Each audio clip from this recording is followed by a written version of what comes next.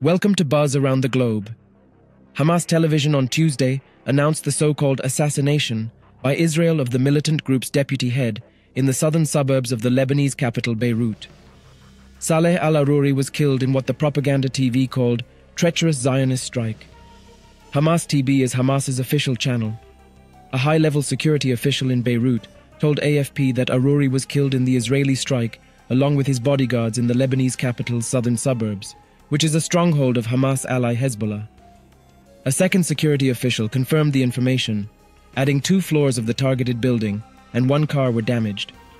Lebanese state media reported the strike hit a Hamas office in Beirut's southern suburbs, a stronghold of Lebanon's Iran backed Hezbollah movement. Hamas TV also said Israel had killed Aruri in Beirut, and Lebanese media said a total of six people were killed in the strike. The strike will add to persistent fears that the nearly three month old Israeli Hamas war could become a wider conflagration.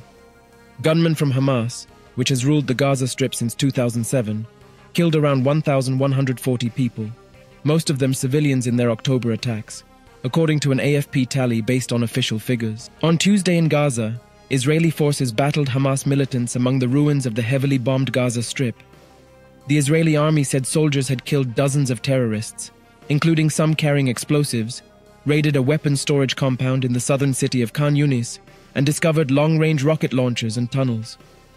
Hamas run Gaza's health ministry said 70 people were killed and more than 100 wounded in the previous 24 hours during Israeli raids. In the southern city of Khan Yunis, Israel twice struck the Palestine Red Crescent Society, PRCS headquarters, PRCS said, resulting in five casualties and three injuries among displaced people who had sought refuge there and at a nearby hospital. The health ministry in Gaza said four people were killed, including an infant. Aruri, in early December, had said, The price to pay for the release of Zionist prisoners will be the release of all our prisoners after a ceasefire. Aruri, who lived in exile, is accused by Israel of masterminding numerous attacks. He was elected deputy to Haniyeh in 2017 before being officially named the group's number two. In October, the Israeli army demolished Aruri's home in the occupied West Bank.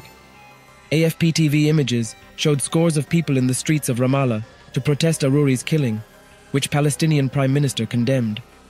The war has also led to almost daily exchanges of fire on the border with Lebanon between Israel's army and Hezbollah. Yemen's Iran backed Houthi rebels have also launched attacks at Israel and against cargo ships in the Red Sea, where the US military has assembled a multinational task force to protect the vital shipping lane. This alleged act of Israel is seen as a possible escalation of the conflict in the region. Do tell us what you think about this video in comments section